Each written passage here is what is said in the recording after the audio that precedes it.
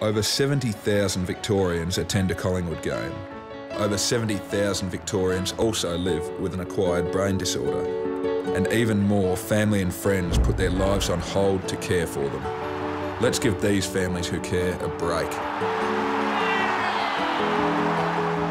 Collingwood stands side by side with BrainLink to make their lives easier. Where do you stand? Stand with us by giving what you can.